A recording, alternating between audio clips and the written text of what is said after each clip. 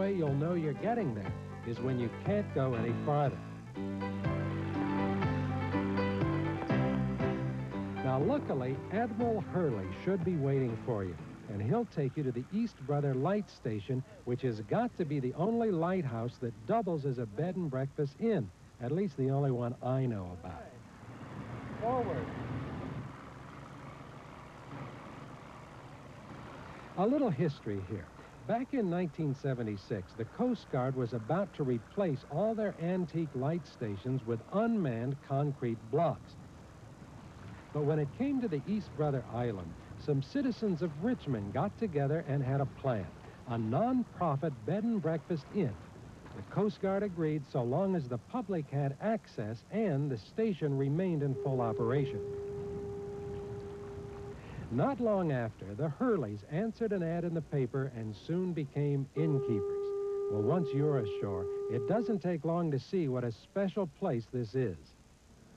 This is sort of the activities room out here on the island. Not a lot to do here, right? Not a whole lot. Uh, it's a unique property in that you come over um, just to enjoy the salt air, the seagulls flying by, uh, the wind in your face. Yeah, it's really romantic. Now, you have no radio, no TV? Not a thing. No contact with the outside world. Uh, for all intents and purposes, we're 100 miles out to sea, and yet only a quarter mile offshore. Do you know a dog has gotten here? I have a feeling that we do have one here. That's right. Hello, big guy. All right. Now, you have two of these dogs that have the thickest coat of fur I have ever seen. Actually, insulation. They do swim with the sea lions who come off the island here.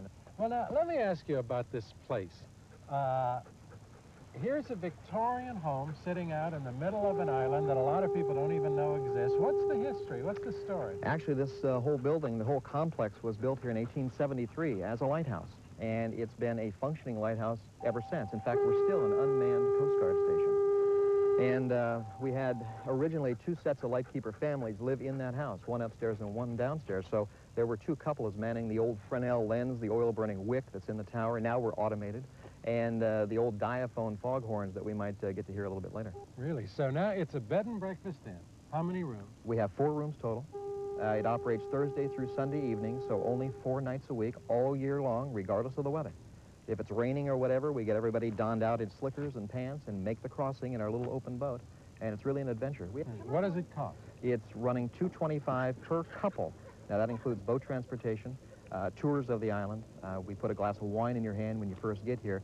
The focal point of the evening is the dinner. It's a six-course affair. It's nicely presented on china and crystal, and it includes champagne, wineries from California, and after-dinner cocktails.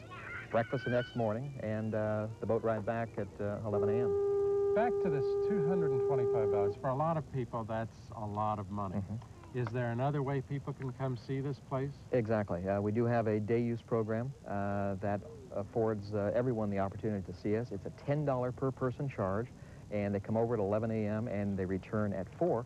And during the day, we give them a tour of the island. We'll blast the old diaphone foghorns for them, 17-mile range, and, um, and they treat it like a picnic in a park. High five. High five. You and your wife and child live here. Right. All year round. All year. What's it like living out here removed from everything else? It's quite an experience. I think we we we have the opportunity to experience something that uh, most people will never have a chance to do, and that's uh, getting back to nature. Uh, we have to worry about things like the weather. We have to worry about things like water. We collect all of our own water here. We don't have any water piped over from the mainland at all. So it's an adventure uh, uh, all year long to see if we can collect the water for the summertime use. So it's all of those things uh, wrapped into one. It's, it's quite an experience. It's wonderful. Do you ever get used to that foghorn going off all the time? Uh, what foghorn? I, I don't even hear the little 30-second blaster that we have. That's about a mile and a half range. You mean you don't hear that right now? No, well, now that you called my attention to it, I do. But normally I just block it right out of my mind. It's like living next to a railroad track. Let me hear the other one. Can I hear the wanna, other one? You want to hear the big one? Yeah. Okay, we'll give it to you. Okay.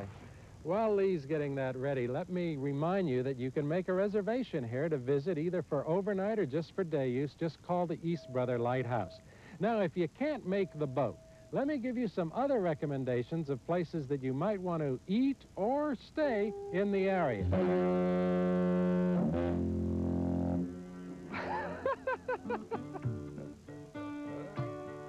The regulars in town seem to go to the Baltic for lunch, although they serve dinner too. Now, this is a comfortable Italian place with comfortable prices. They serve lots of pasta dishes, veal and fish.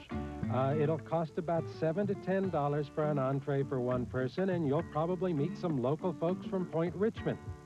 The Hotel Mac down the street is more of a dinner place, and it's more traditional with continental cuisine. It also is going to cost you a little more to eat. Expect to pay $15 for an entree, but the food's quite good. Now, if you have time for an unusual drive, just before you get to the San Rafael Bridge, where it says the Point Molate exit, just follow that road. It's called Western Drive, and you'll get an idea of what this area used to be.